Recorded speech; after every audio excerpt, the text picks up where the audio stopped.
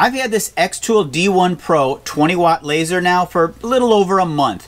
It never ceases to amaze me the cool things that this thing produces. And today I'm going to show you 11 creative ways I managed to use this machine. Welcome to Alley Picked.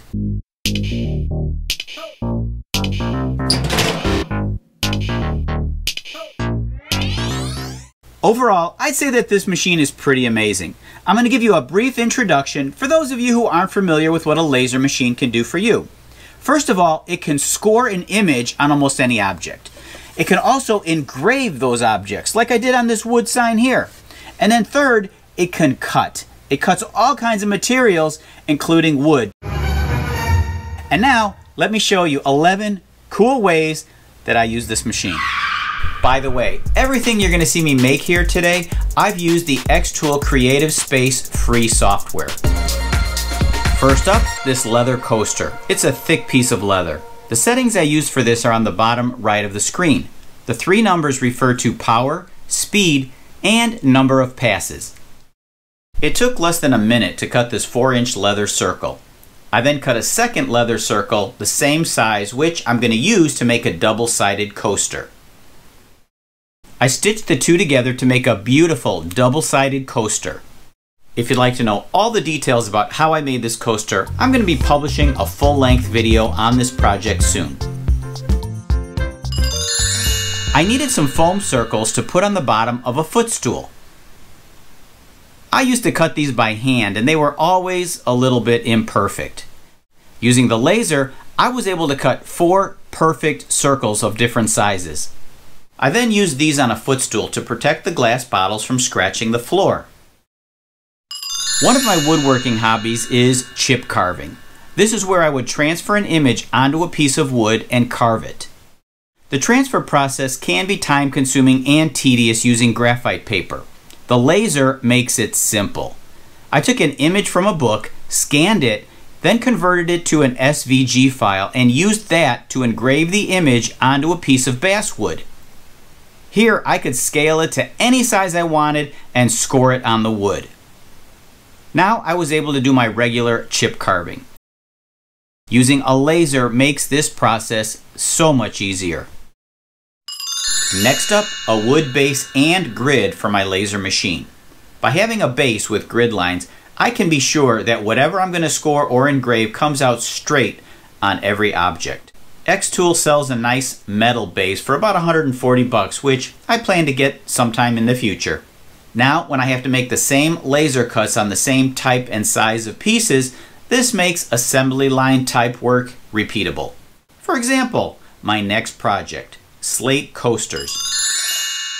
You can purchase various size and shapes of slate coasters for a reasonable price on Amazon.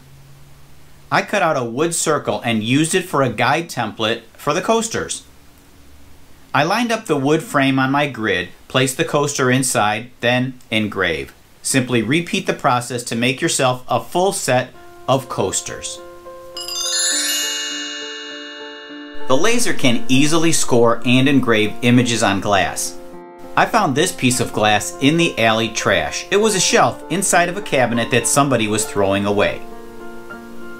In order for the laser to engrave it, the glass needs to be cleaned thoroughly and then obscured. For that, I'm going to use some cheap black tempera paint. This bottle was just a couple of bucks at the hobby store. I found that a soft bristle brush works the best. I didn't have good luck using a foam brush. You might need to give it a second coat.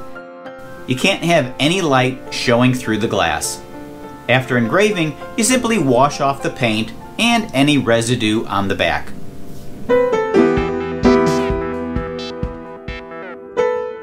You can also get creative by painting the back of the glass afterwards for a different style. Here's another glass project I made using a four-sided jar, flat on each side. Same basic principle, clean the glass, apply the paint, engrave, and rinse. There's a lot of accessories that you can buy for your Xtool. I only have two that I'm going to briefly go over today. Number one is this air assist tool. This thing is basically a compressor that pumps air through here and onto the surface as the laser cuts. The reason this helps out is if you don't have it, you're going to get burn marks on some of your surfaces. With this, you get nice clean cuts. The second accessory that I have is this RA2. It's a rotating accessory tool. It plugs into this unit and then rotates and turns automatically with your object on here as the laser engraves and cuts. It's the only way you can really engrave on round objects. And I'm going to show you this in real time how I used it. To engrave a round jar, you're going to need to use the RA2 attachment. I'm not going to get into the details about setting this thing up, but what it does is rotate the glass jar for you. Since the laser can't rotate, this device is perfectly timed with the laser so that it rotates slowly as the laser engraves your object. If you notice on this project, I put a white box to the left of the jar. Being so close to the end of the rollers, the jar had a tendency to slip off. So I put this box here to keep it in place. This project took the laser about an hour to print because there were so many small bone and paw print images. This machine engraves on cork material also. Here's a couple of cork coasters I engraved and cut using the laser. One of my favorite things to use the laser for is sign making. At the hobby stores, they sell all kinds of wood blanks that you can use to engrave images onto. Here's one I made for a company called Simpleton Creations, which, by the way, prints my Alley Pick t-shirts, in case you're interested. Check them out here at www.simpletoncreation.com. I'll also leave a link in the video description. By using the higher power setting, the laser will engrave deeper into the wood. My plan here is to paint my Alley Pick logo inside the grooves. I also embedded a couple of strong rare earth magnets into the back.